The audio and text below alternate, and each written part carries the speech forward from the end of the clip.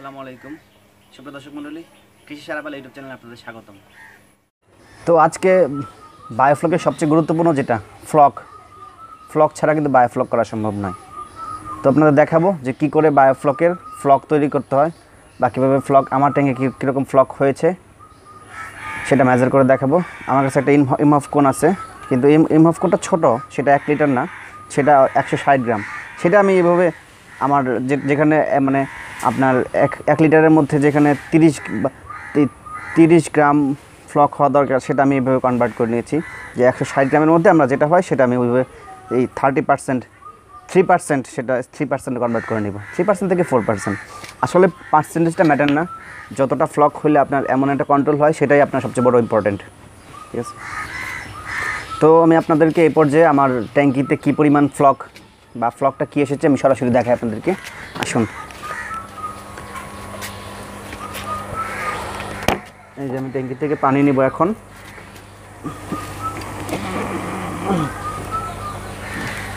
একটা একশো ষাট এম এল নেব। এই যে একশো ষাট এম পানি নিলাম। ফ্লকটা জমতে কিছুক্ষণ সময় লাগে তো পাঁচ সাত মিনিট সময় লাগবে। দেখেন, আপনারা দেখতে পাচ্ছেন, ফ্লক আস্তে আস্তে নিচে আসতেছে। পানিটা কিন্তু স্বচ্ছ, ফ্লকটা নিচে জমা হওয়ার পরেই পানিটা পুরোটাই একদম সাদা হয়ে যাবে। এই যে ফ্লক, দেখতে পাচ্ছেন? তো আমি সেটা রাখলাম, আমার এখানে এখানে যেটা জায়গা আছে, আমি ফাইভ মিনিটস রাখব। রাখার পরে দেখব ফ্লকটা কত মিলি চলে আসছে ফ্লক, বা কত পার্সেন্ট ফ্লক আমার ট্যাঙ্কিতে আছে। ঠিক আছে? তো মোটামুটি পাঁচ সাত মিনিট যাওয়ার পর এই পর্যায়ে আমি আমার ফ্লকটা দেখতে পারি।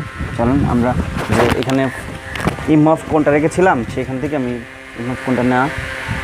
দেখি যে আমার ফ্লকটা কী কী, কতটুকু এসেছে। তো এই দেখেন, আমার মোটামুটি তারপরেও কিন্তু ফ্লক এখনও ঘোরাঘুরি করতেছে। তো যতটা একটু বেশি সময় নিলে আপনার ফ্লকটা নিচে চলে আসবে, আধা এই দশ মিনিট দশ মিনিট থেকে পনেরো মিনিট নিলে হয়তো ফ্লকটা নিচে চলে আসবে। তো আমি তো পাঁচ সাত মিনিট পর দেখলাম, তো কিছুটা ফ্লক কিন্তু এখনও ঘোরাঘুরি করতেছে। তো যেটা, এটা ঘোরাঘুরি করুক, আমি যেটুকু ফ্লক নিচে চলে আসছে, এটা একটু নিচে চলে আসবে। তো দেখেন, এই যে এটা এটা দশ এম এই যে দশ এম দশ, বিশ, তিরিশ, চল্লিশ, পঞ্চাশ, এভাবে একশো ষাট এম আছে এটা। তো আমার ইমহফ কোনটা ছোট, কারণ এটাই কিন্তু আমি এক হাজার টাকা দিয়ে নিয়েছি। যেটা এক লিটারের ইমহফ কোন সেটা কিন্তু সেটার দাম হলো গিয়ে ছয় হাজার টাকা। সো আসলে ইমহফ কোন নিতে হবে, সেটা কিন্তু না। আপনার ইচ্ছা করলে আপনার একটা বোতল দিয়ে আমি মেজার করতে পারেন। আপনার মেইনলি আপনার যে ফ্লক কী পরিমাণ আছে, সেটা মেজার করাটাই মুখ্য। সেটা ইমহফ কোন দিয়ে করেন বা বোতল দিয়ে করেন, যা ইচ্ছা তাই দিয়ে করতে পারেন। সমস্যা। ইচ্ছা করলে গ্লাস দিয়ে করতে পারেন আপনি।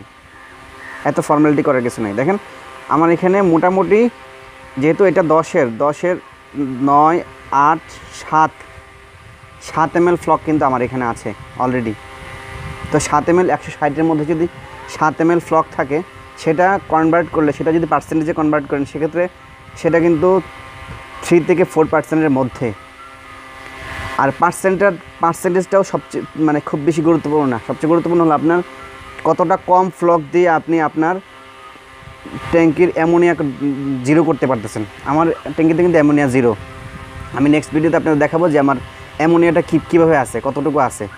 আমার এমন আমার ট্যাঙ্কিতে কিন্তু অ্যামোনিয়া একদম জিরো সেটা আমি আপনার নেক্সট ভিডিওতে দেখাবো। তো এটুকুই ছিল আমার ফ্লক নিয়ে। আমি আমার ট্যাঙ্কির পানিটা আবার ট্যাঙ্কিতে ফেলে দিই।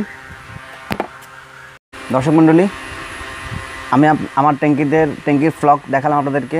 তা আপনারা যদি ট্যাপ ফ্লক নিয়ে কোনো কিছু জানতে ইচ্ছা করে, আপনারা ভিডিওর নিচেই কমেন্ট বক্স আছে, আপনারা কমেন্ট করবেন।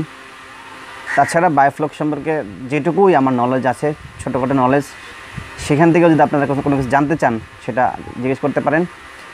তো ধন্যবাদ, আপনারা আমার চ্যানেলটি সাবস্ক্রাইব করবেন শেয়ার করবেন লাইক করবেন। ঠিক আছে, ধন্যবাদ।